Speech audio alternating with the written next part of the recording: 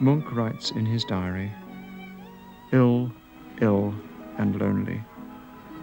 He wanted to put his tired head on a soft lady's breast,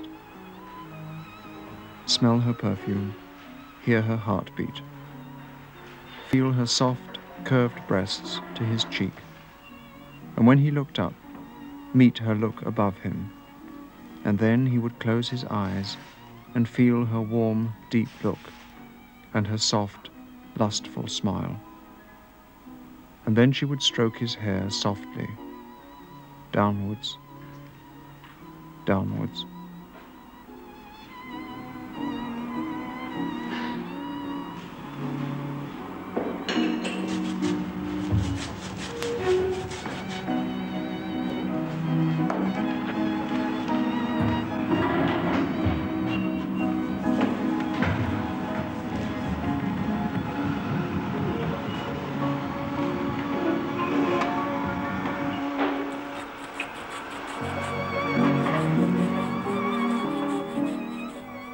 In Munch's diaries appear these words I greeted, the girlfriend laughed a little, the pale one smiled a bit too.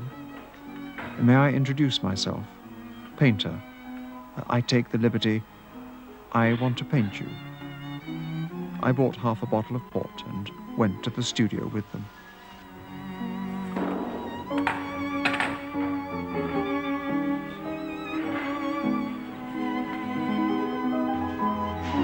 Så kommer de i morgen, sa hun. Ja. Han skjulte blomstene. Verken søsteren eller faren hadde oppdaget det. De ville ledd hvis de hadde sett dem.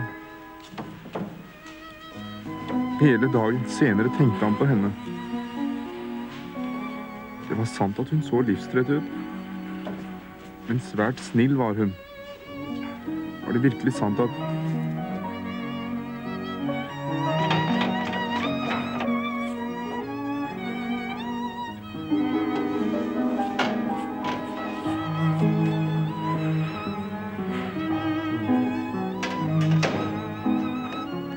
They stopped.